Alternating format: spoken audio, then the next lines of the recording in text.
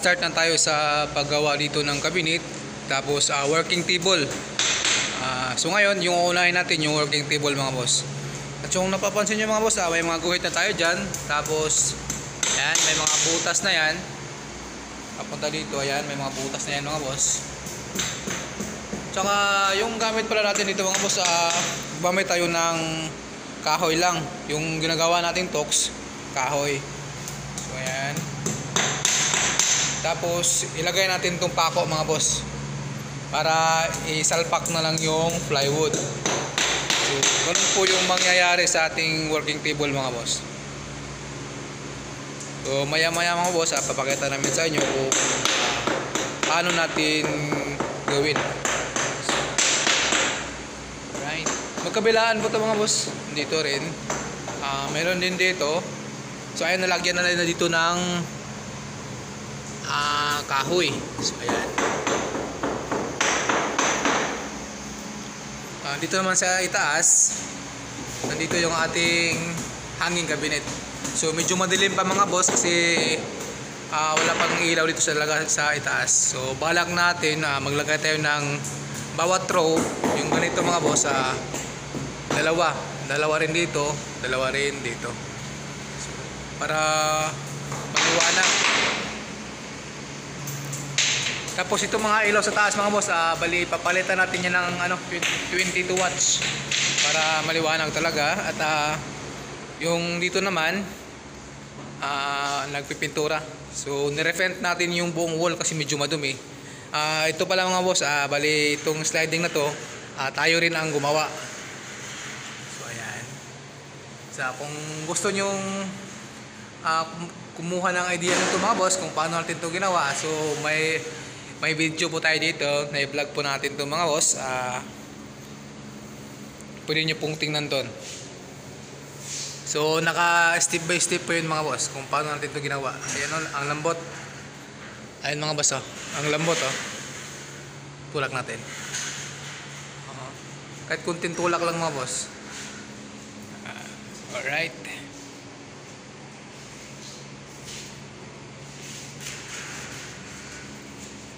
So ayun mga boss, ah, bali nagpisahan na sa pagbutas. Ayan, so pubutasan niya mga boss para sa idikit natin itong isang plywood. Bali built-in po yung ating hanging cabinet mga boss.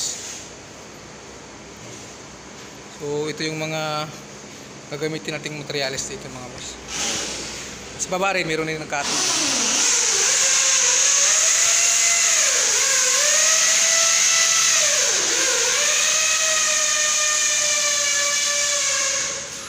Bali, gagamit tayo ng aging mga boss. Ayan.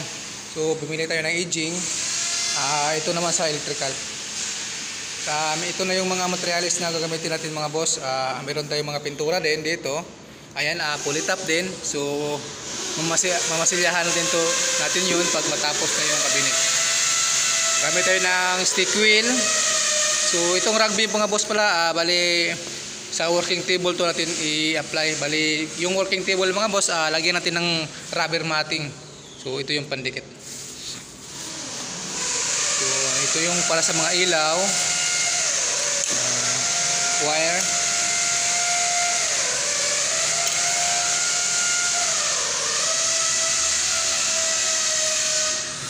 Ah, ito yung mga pako. Nandito yung mga pako mga boss. Yung pako natin na gumamit tayo ng 1 tapos 1 and 1 half. So, yan lang.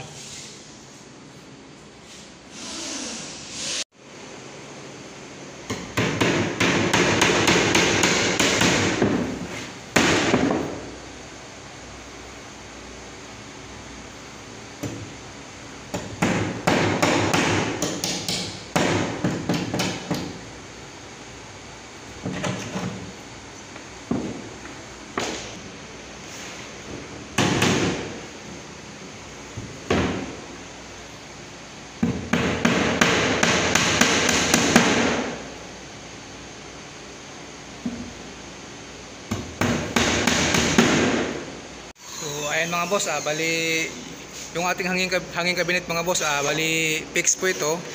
So ayan, so ina-actual actual natin siya. So inuna natin yung mga pako mga boss, ayan kung napapansin nyo yan. So nakalagay na yung mga pako. Ayan, nandito na yung mga guhit. So ito na yung partition mga boss. Ayan. Lahat yan may pang pako na yan. So yan mga part yung mga may pako mga boss, yan na yung ating partition. Ah, pati yung pa horizontal meron na din. Ayan. Para paglagay natin sa plywood mga plywood mga boss, ah, diretso na. So di na kailangan natin magpako kasi meron na tayong abang na pako. So ganun lang po kasimple mga boss.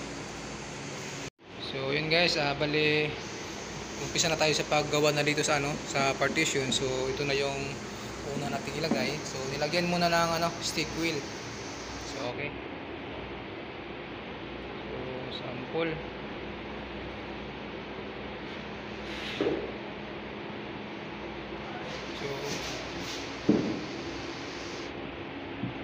Alright. Tapos pako na lang yung ilalim mga boss.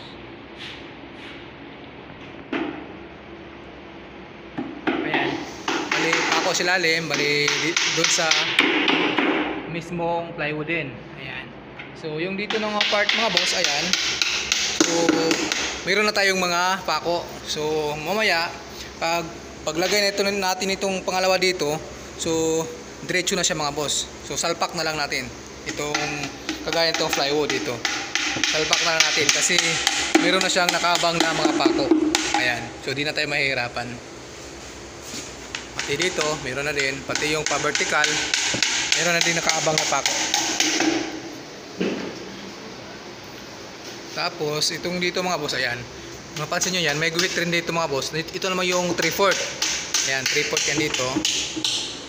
Pag ganyan. So, yung lapad pala nito, nito mga boss, ah, 40 cm. So, ayan. Bali, lagayan lang, lagayan lang yan ng mga papers mga boss kasi dito gagawa maglagay dito ng ano, ah, office table. Ah, doon rin banda, meron din isang table doon. Tapos, meron din siyang sariling hanging cabinet. So, yung hanging cabinet mga boss, ah, open lang siya, walang pintuan. Kasi para daw madaling pagkuha sa mga papers. Ayan. So, bakit natin ito nilagay nitong mga ganito mga boss? Ganyan. Para i-insert lang natin yung ating ah, plywood. Yung sahig dito mga boss. Para matibay talaga yung ating hanging cabinet. So, ganyan po yung ating ginawang style. Alright.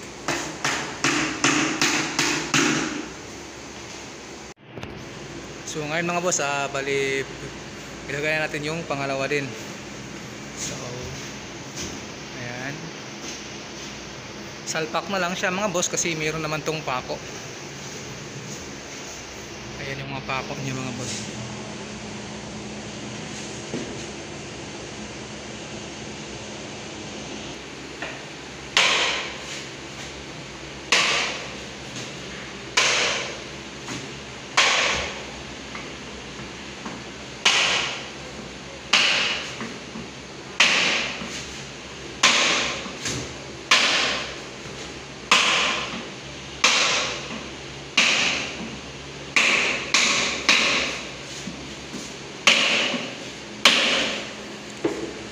So, ayan mga boss.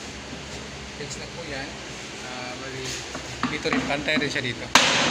So, matibay siya mga boss kasi nakapatong siya dito sa ilalim. So, ganyan po yung ating proseso mga boss. Kaya nga, nilagyan natin ito ng ganito. So, fix siya mga boss. So, napakatibay yung ating hanging cabinet.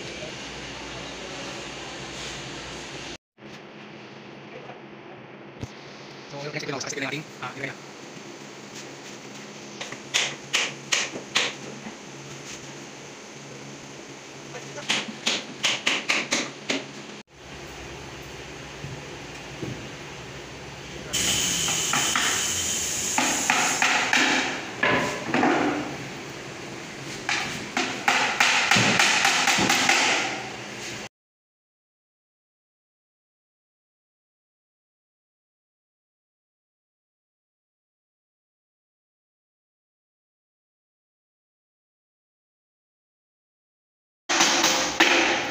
Ito mga boss, pag example, ah, tatanggalin din tong hanging cabinet. Ah, ito lang siya mga boss. ah. Nakalitaw yung ating mga ano, tornilyo. Ayan. So, dito rin. So, pag in case kung tatanggalin siya mga boss, ayan, tatanggalin na lang yung tornilyo.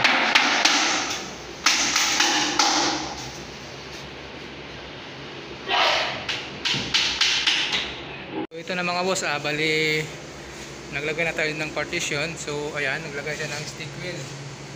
Sa, para sa partition yan mga boss. So, ayun na yung mga pako na nakabang natin mga boss. Ayan, nakikita nyo ba yan? Yan. So, ayan, diretso na yan, diretso na yan mga boss. So, papaluin na lang dito. Ayan. Kasi kung magpako pa tayo ng pagganyan mga boss, pa- pa-slant, ah, medyo, ano, ah, pangit tingnan. Kaya, habang anong pa mga boss, ah, naglagay na tayo ng pako. Bukod sa madali siya mga boss, ah, malinis din yung ano, ah, wala siyang wala kang makikitang pinakuan. Itong mga kanto nito mga boss, ah, bali lagyan pa natin ng ano, ah, ito aging. Ayan, aging. One half by one. So, nakalagay natin dito ng guhit mga boss. Ayan, nasa layout na natin to ganyan. So, ayan. Lahat lahat dito lahat ng mga kanto mga boss, lagyan natin ng aging. Alright. So, ngayon mga boss, ah, bali dito naman tayo. Ayan. Bali, nagcutting na kami para dyan.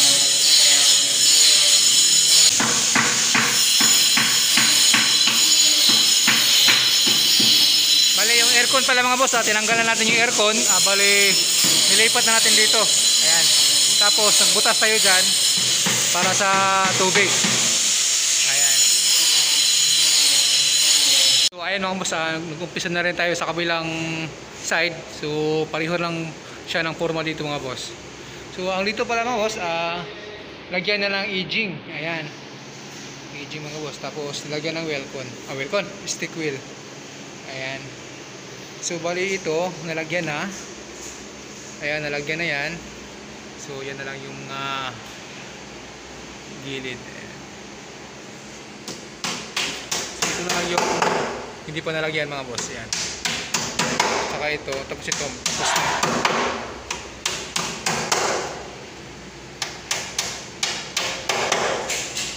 Or, so, habang ginagawa yan, tapos ito rin mga boss, ah, inipisahan na rin natin. So ayan mga boss, ah, nakalagay na tayo ng pako. Ayan. So, ayan. May mga pako na nakabang mga boss. Lahat yan. So kung nagtanong kayo mga boss, kung sa mga nagtatanong na kung bakit dalawa yung ating guhit, ah bali ito na po yung ating ito kung ito mga boss, ah, bali nandito na yung pinakagilid ng plywood. Ayan, bali dito ganyan. So ito na yung pinakagitna. Okay? Yan, so dito yung isang plywood sa gilid, tapos ito rin, ito rin sa kabilang gilid. Ganyan. So isang side lang yung ating ginuhitan mga boss. Same sa ah, horizontal, ganun din. Meron tayong ano, dalawang guhit. Alright.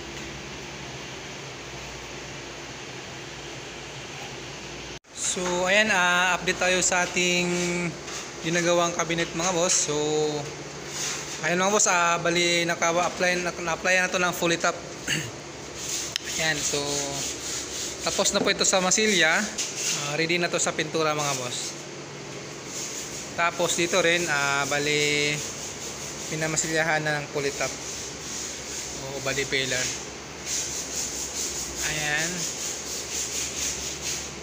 Tapos, yung ating gagawing hanging cabinet mga boss, ah, bali apat. Dalawa dito sa, ita- sa taas.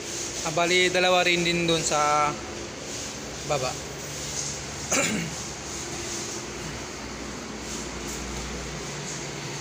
so, eto mga boss, ah, bali nakagawa na tayo dito.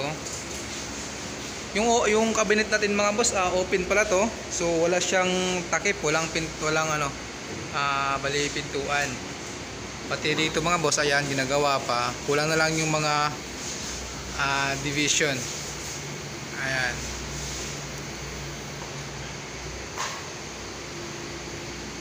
So, ganyan lang siya mga boss kasi lagyan ng mga ah, documents. Tapos, dito sa baba, ayan, um, nakalayout at red na, na rin tayo dito. So, maya maya mga boss, ah, bali matapos yun. So, umpisa na tayo dito sa ating ah, working table naman. Tapos, may mga drawer yan mga boss. Bali, ito yung drawer. Itong part na to. Yan, 40 cm yung lapad. Ito drawer. Tapos, yun naman drawer. Bali, tatlong drawer dito na side. Bali, dun sa kabila, dalawa. Bali, dalawang tao rin yung mag-occupy ng space. Yan yung gagawin nilang ano, area, working area. So medyo madilim dito mga boss kasi wala pang ilaw, wala pang nalagay. So ang may ilaw dun sa taas lang. So dito sa lalim medyo madilim. Ta So ito bali mga boss, ah bali naka-start na tayo dito sa ating paggawa ng working table. So ayan. At ah, bali yung lapad pala nitong ah, working table natin mga boss, ah 70 cm. Ayan.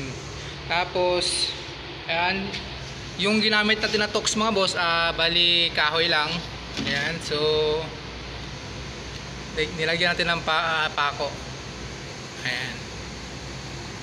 So lahat yan mga boss, may mga pako na yan. Ito, ito ring working table mga boss, ito, ah, nakapako na rin to dito sa ano. At ah, itong mga, yan mga boss, yung nakikita nyo ganyan, ah, para yan sa ating drawer. So yung drawer natin mga boss, ah, mula dyan hanggang dito, ah, 40 cm papunta dito yan. So ayan, ah, ito mga boss, ah, bali, brace lang muna yan. Temporary lang yan. So ito mga boss, ah, bali kasalukuyang ginagawa pa rin yung ating working table. Akyat tayo sa taas mga boss. So nag-start na tayo ng pag-apply ng ah, first coating sa ating hanging cabinet. So yung ginamit natin na pintura mga boss, ah, meron pa meron pa naman tayong available na epoxy primer. So yung epoxy primer na lang yung ating in-apply na primer nito mga boss. Ayan. So Ayan, epoxy primer tapos lagyan lang ng catalyst tsaka konting lacquer thinner. So matibay naman rin to mga boss itong primer. Mas mag ang kagandahan sa primer mga boss, ah, madali siyang matuyo. So pwede ka na maka-apply ulit mga 10 minutes. Katapos ng primer mga boss, ah, bale yung finish natin na pintura dito, yung kulay, ah, chocolate brown daw. So yun yung ating susundin. Chocolate brown yung kulay ng ano nila ah, hanging cabinet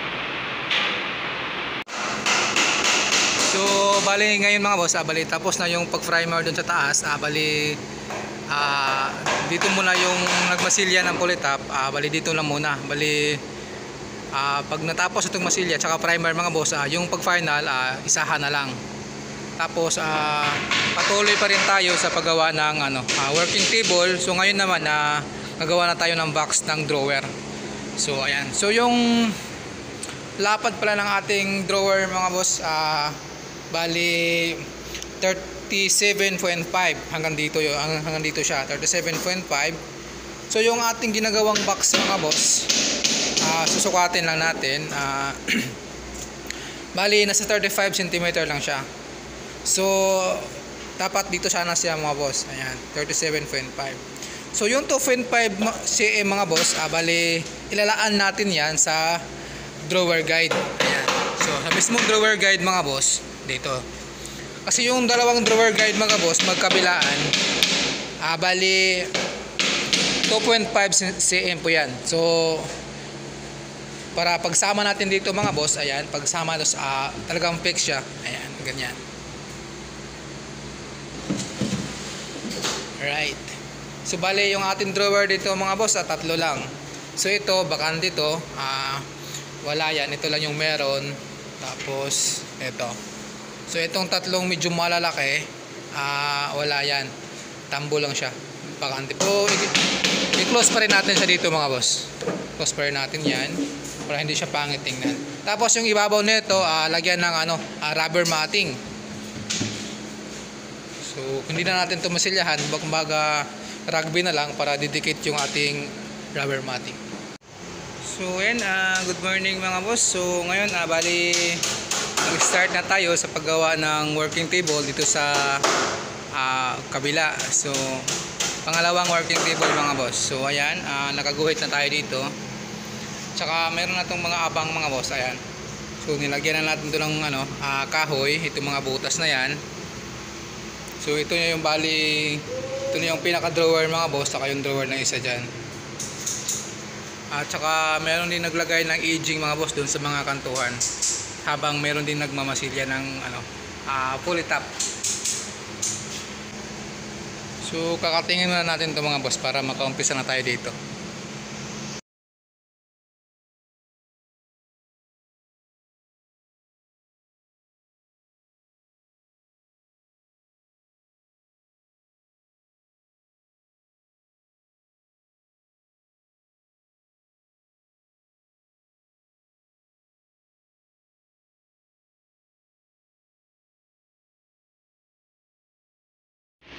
Bali ito na mga boss, ah maglagay na tayo ng pako doon sa ah, may mga tools na kahoy dito. So yung pako natin mga boss, ah, wala na tong mga ulo. Ayan. So tinanggalan natin ang ulo. Ayan. So ayan. So gamit yung ating grinder. Okay.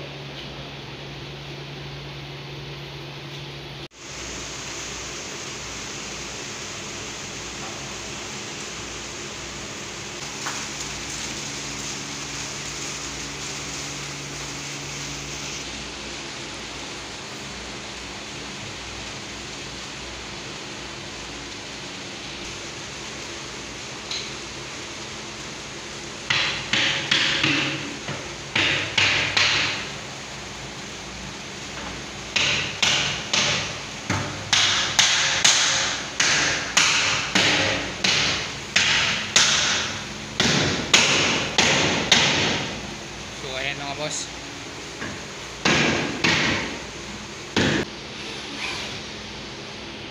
So bali ito na siya ngayon mga boss. Ah lagyan na nila ng ano, ah, pampatibay sa ilalim. Tsaka dito sa baba mga boss, ah, naglagay tayo ng ano, yung ginamit natin ah yung tubular. So diyan mga boss. Bukod dun sa nilagay natin pako kanina, ah meron ding ano Ah, yun, nag-cutting tayo ng tubular para dagdag tibay na rin. Yan mga boss.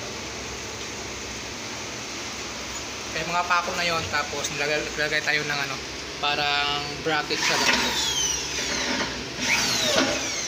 Lahat yan mga boss meron, nilagyan natin.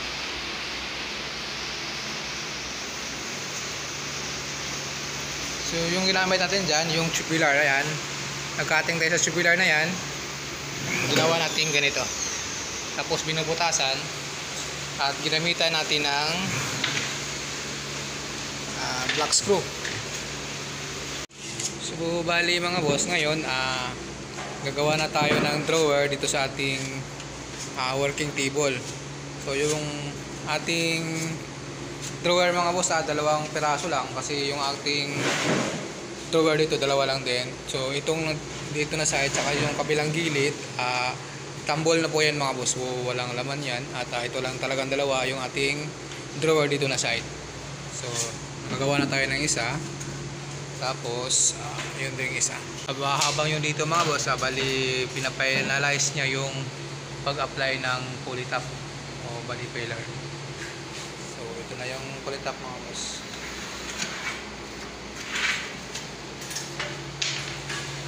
So, pangalawang apply niya yan ang pulit up. Para talagang makinis kagaya sa mukha nung nag-apply.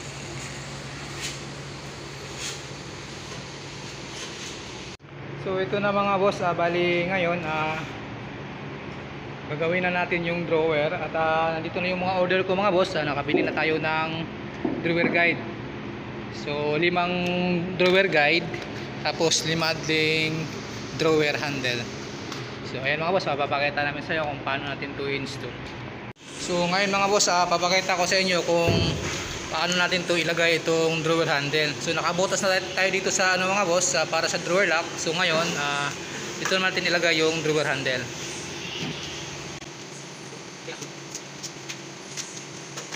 So,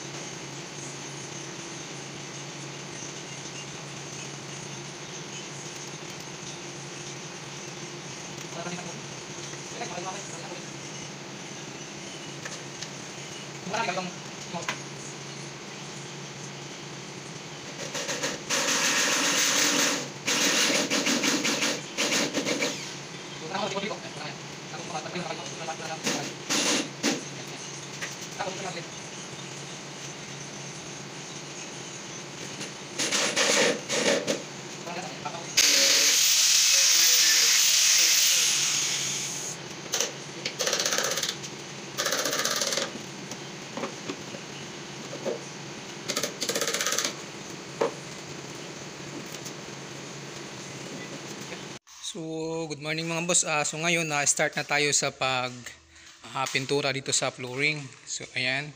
So, kung napapansin nyo mga boss, ah, meron tayong pinaglagyan ng color put, color white. Ayan. So, yan po yung mga maliliit na crack mga boss. Ayan, kung mapapansin mo yan. Maliliit lang mga crack. So, nilagyan natin ng ano, ah, binasilyahan natin para pag pintura, hindi naman siya pangiting, pangitingnan. So yung gamit natin na pintura mga boss, ah, papakita ko lang. Ah, ito po yung rubberized paint. So asan na ba yon? Ito na yung tinimpla nila. So ito yung kulay. So yan yung kulay mga boss. ah. Ah, mocha brown. Ayan. So yung pintura, hanapin natin kung saan. Basta ito yun mga boss. Ah, papakita lang natin. So ito yan, ah, bali ah, Bronco yung brand niya, tapos rubberized floor coating, mocha brown. Ayan. So pwede siya sa ano mga boss, ah, basketball court, tennis court, ah, parking lot, tapos warehouse. Ayan. So ang bili po namin dito mga boss, wi- sa Wilco na price, ah, 3,400 yung bawat ah, isang galon. 3,400 tapos yung ah reducer ito naman mga boss sa Wilcon kami bumili kasi yan lang yung medyo malapit dito at ah, ito naman rubberized floor coating. Ito yung reducer niya mga boss. So ito medyo mahal din. Ah, nasa 4,000 itong reducer tapos bumili tayo ng 10 rubberized pen 10 galon tapos apat doon. So yung presyo yung nab- nabayaran natin dito ah 34,000 mahigit sa 10 galon. So ito naman ah bumili tayo ng apat so na 16,000 mahigit. Bale kung total natin mga boss yung ating rubberized tsaka yung ating ah, reducer nasa 50,000 ah, plus yung ating bili dyan. Tapos ito naman yung mga ginamit natin dito sa ating cabinet, mga drawer, tapos yung sa hanging cabinet. Ah, quick drying enamel. Ayan, ito mga boss. So bumili tayo ito ng tatlong galon. Drying enamel, tapos meron siyang paint thinner. Ayan. So yan po yung ginamit natin mga boss. Yan, dito natin in-apply sa ating mga working table tapos hanging cabinet pati dun sa taas. Ayan. So ayan, bali ngayon na lininis ni nagwalis na siya para ipinturahan na tong flooring. So lahat ng flooring dito mga boss, ah, pipinturahan natin. So dito nakapintura na sila dito, nakampisa na. At ah, dito na rin susunod tapos yung dito na part. Ayan. So gumamit tayo ng ano para medyo ma, hindi masyadong mainit. Tapos dito rin mga boss ah,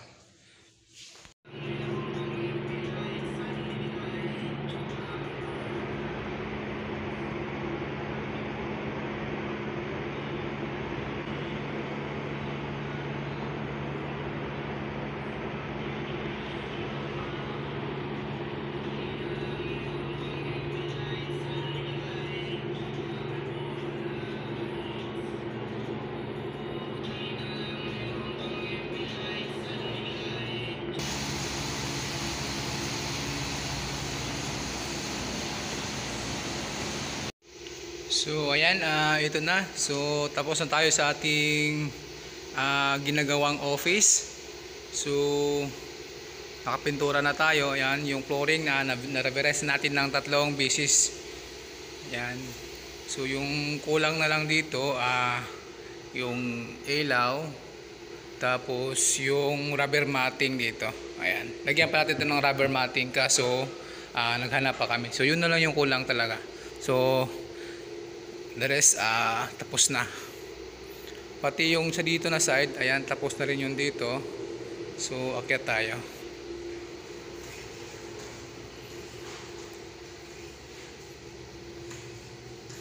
So ayan. Tapos na rin. Pati yung ating hanging cabinet. Tapos na rin yan. So, alright.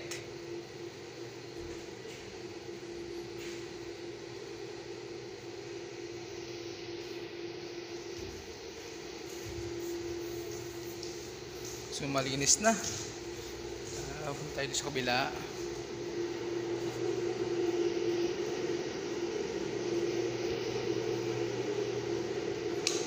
So ayan, malinis na rin yung dito.